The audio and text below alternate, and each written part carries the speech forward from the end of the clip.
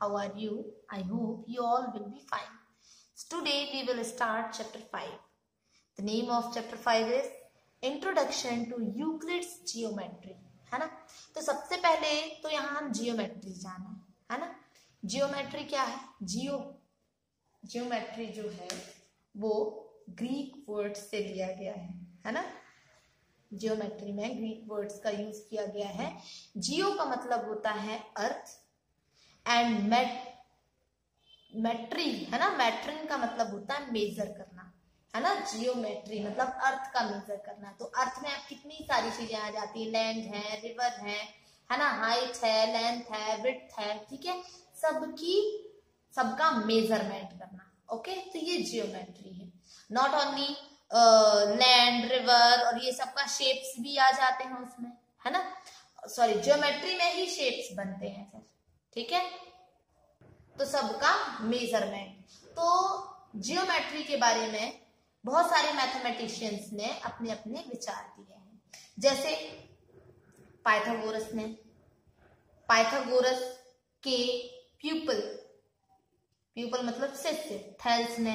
इन लोगों इन लोगों ने जियोमेट्री से रिलेटेड अपने अपने कुछ फॉर्मूलाज बनाए अपने अपने विचार दिए, ठीक है? पर इस लेसन में हम यूक्लिड की जियोमेट्री के बारे में पढ़ेंगे, ठीक है? थैल्स की जियोमेट्री भी नहीं और पाइथागोरस की जियोमेट्री भी नहीं। इस चैप्टर में हम यूक्लिड की जियोमेट्री पढ़ेंगे यूक्लिड जियोमेट्री, ओके?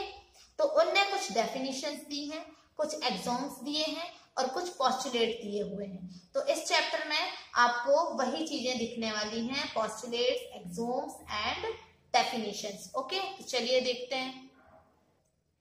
तो यूक्लिड जो थी, ये भी मैथमेटिशियन थे, है ना? तो यहाँ पर एक बात बताई गई है कि यूक्लिड जो कि मैथमेटिशियन मैथमेटिक्स के टीचर थे, कहाँ पर? अलेक्जेंड्रिया जो कि इजिप्ट में है है ना? तो उनने बहुत सारे जाने माने वर्क्स को कलेक्ट किया, ठीक है? और अपने फ़ेमस ट्रेटाइस में उन्हें अरेंज किया है। मतलब सारी चीज़ें इधर उधर से उनने नॉलेज कलेक्ट करके कलेक्ट करके अपने फ़ेमस ट्रेटाइस में अरेंज किया है। जिन्हें एलिमेंट्स भी कहा जाता है। ठीक है? तो एलिमेंट्स को यूक्लिड ने थर्टीन चैप्टर्स में डिवाइड किया है और प्रत्येक चैप्टर को एक बुक कहा गया है इसमें। ठीक है? He divided the elements into thirteen chapters each called a book okay? और ये जो बुक्स हैं, वो इन्फ्लुएंस्ड हैं। Whole world's understanding of geometry for generation to come किससे प्रभावित है वो? वर्ल्ड की ज्योमेट्री से। ओके? तो इस चैप्टर में हम यूक्लिड ने ज्योमेट्री के बारे में क्या क्या चीज़ें इसमें बताई हैं, है ना? वो सब हम डिस्कस करेंगे और उसे लिंक करने की कोशिश करेंगे आज की ज्योमेट्री से। ओके? वो आप रीड करिएगा, है ना? मैं यहाँ आपको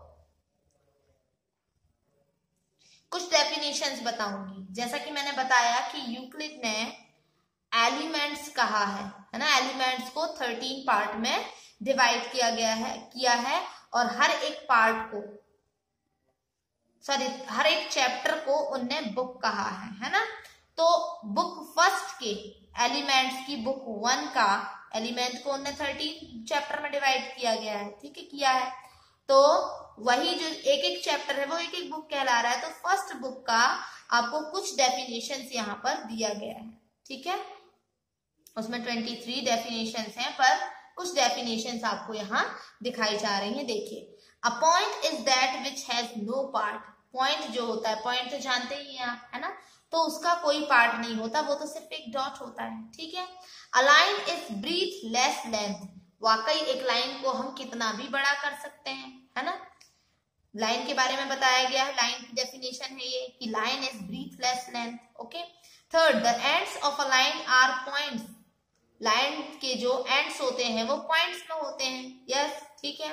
A straight line is a line which lies evenly with the points on itself a surface is that which has length and breadth only surface में लेंथ और ब्रेथ बस होती है सही है the edges of a surface are lines हाँ ये भी सही है सरफेस की जो एजेस होती हैं वो क्या होती है लाइन ही होती है है ना A plane surface is a surface which lies evenly with the straight line on its self. तो ये तो कुछ डेफिनेशंस दी हुई है, ठीक है? फिर आपको कुछ एक्सोम्स दिए हुए हैं। सो so, एक्सोम्स है ना? तो यूक्लिड ने जैसे डेफिनेशन दी कुछ है ना? तो वही उनके सामने कुछ उनके दिमाग में कुछ ऐसी बात भी थी कि कुछ चीज़ें ऐसी होती हैं कि जिन जो ट्रुथ है जो सच है पर उन्हें हम प्रूफ नहीं कर सकते है ना? एजम्पन्स के बारे में बताया गया है कि जो कि यूनिवर्सल ट्रुथ है है ना? लेकिन उसे हम प्रूफ नहीं कर सकते हैं, ठीक है? तो ऐसे ही एजम्पन्स को ने टू टाइप्स में डिवाइड किया है। पहला एग्जोम्स एंड दूसरा पॉस्टुलेट ठीक है? तो पॉस्टुलेट्स क्या है?